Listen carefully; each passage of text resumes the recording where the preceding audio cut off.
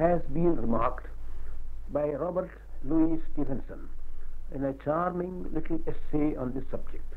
It is scarcely possible to speak of books that have influenced one without finding oneself engaged on an autobiographical essay of a sort. A man's outlook on the problems of life is necessarily molded by the influences to which he has been subject, and especially by the influences brought to bear on him when at an impressionable age.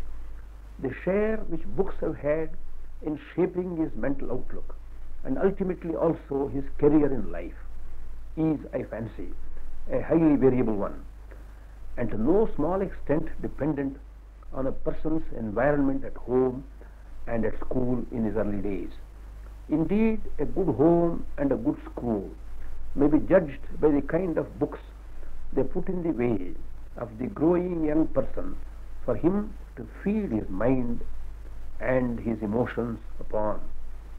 I believe it's the exception rather than the rule for the books which are formally taught at school and at college to exercise any profound influence on the mind of the student.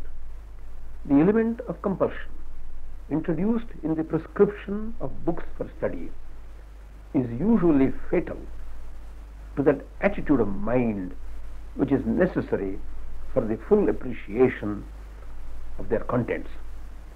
It is the books, the merits of which you have, so to say, discovered for yourself that really influence you. The failure to recognize this elementary fact of human psychology, namely the antithesis between choice and compulsion, is responsible for the unfruitful character of a vast amount of scholastic effort in the way of both teaching and learning. I can tell you here a story about myself, or rather against myself in this connection. Many years ago, a well meaning university prescribed Robert Louis Stevenson's well known story, Kidnapped, as an English text for the first arts course. I do not remember the precise number of times this text was taught or lectured upon in class, or the precise number of times I read through the book during the two years course of study for the examination. The copy I purchased and used disappeared in due course. One evening, a few years ago, a copy of Stevenson's Kidnapped, beautifully printed and bound, caught my eye at a railway bookstall. I was tempted to buy it and took it home and started reading the book before going to bed. Believe it or not, the story, or rather the manner of its telling, gripped me so powerfully that I had to finish reading the whole book at a sitting before retiring for the night. I had, so to say, discovered Stevenson's magic charm of writing for myself. Since then, I have read everything that Stevenson wrote with the keenest enjoyment. I finished my school and college career and all my examinations at the age of 18.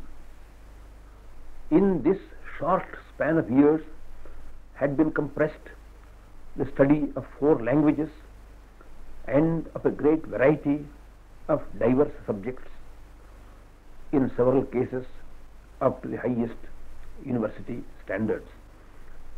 A list of all the volumes I had to study would be of terrifying length. Did these books influence me?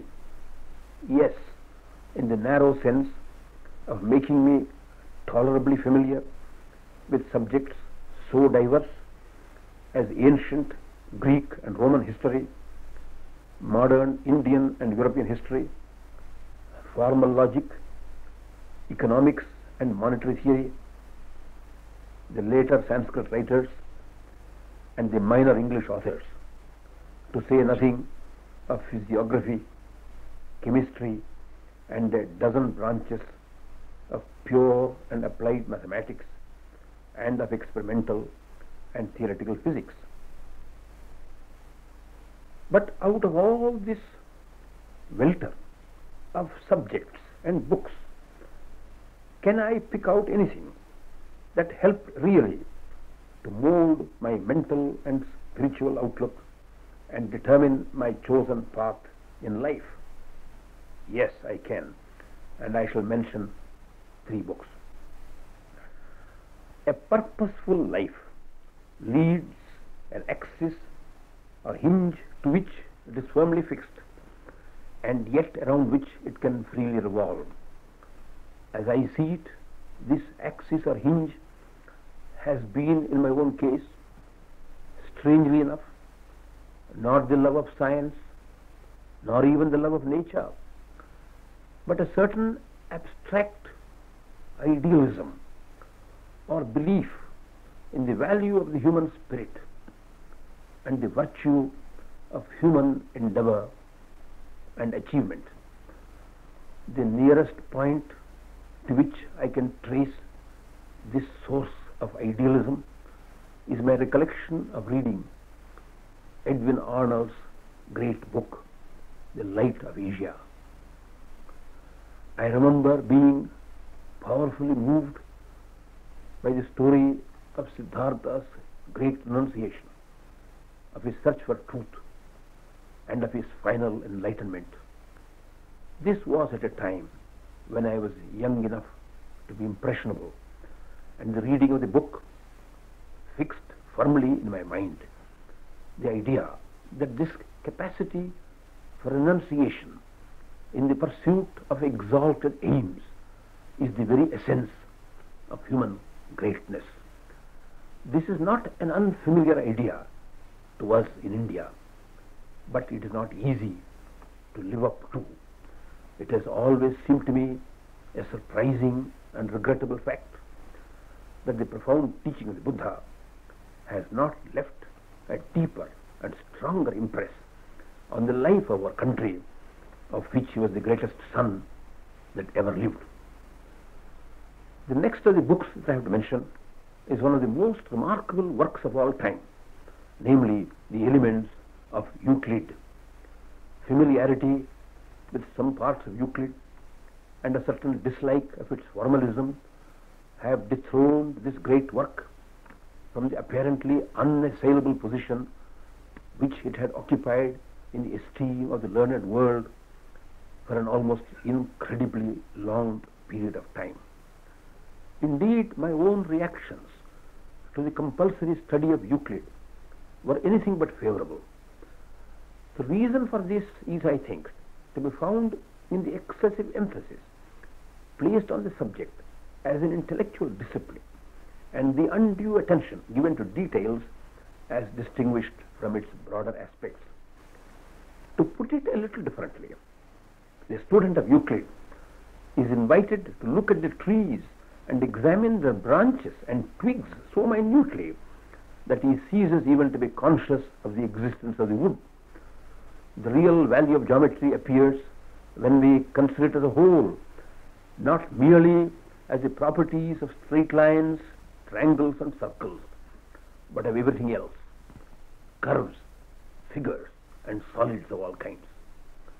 Thus regarded, geometry makes a profound appeal both to our senses and to our intellect. Indeed, of all branches of mathematics, it is that which links most closely what we see with the eye with what we perceive by reasoning. The ancient Greeks had a fine sense of the value of intellectual discipline, and they had also a fine sense of the beautiful. They loved geometry just because it had both of these appeals.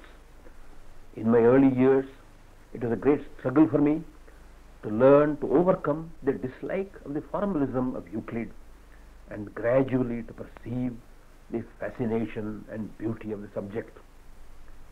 Not until many years later, however, did I fully appreciate the central position of geometry in relation to all natural knowledge. I can illustrate this relationship by a thousand examples, but will content myself with remarking that every mineral found in nature, every crystal made by man, every leaf, flower or fruit that we see growing, every living thing from the smallest to the largest that walks on earth, flies in the air, or swims in the waters, or lives deep down on the ocean floor, speaks aloud of the fundamental role of geometry in nature. The pages of Euclid are like the opening bars of the music in the grand opera of nature's great drama. So to say, they lift the veil and show to our vision a glimpse of a vast world of natural knowledge awaiting study.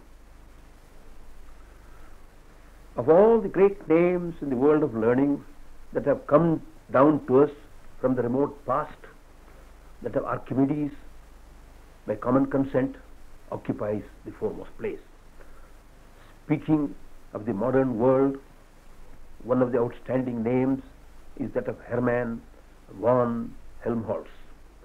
In the range and depth of his knowledge, in the clearness and profundity of his scientific vision, he was easily the equal of any others that one could mention, perhaps even of Isaac Newton. Rightly has Helmholtz been described as the intellectual colossus of the 19th century. It was my great good fortune, while I was still a student of college, to have possessed a copy of an English translation of his great work on the sensations of tone. As is well known, this was one of Helmholtz's masterpieces. It treats the subject of music and musical instruments not only with profound knowledge and insight, but also with extreme clarity of language and expression.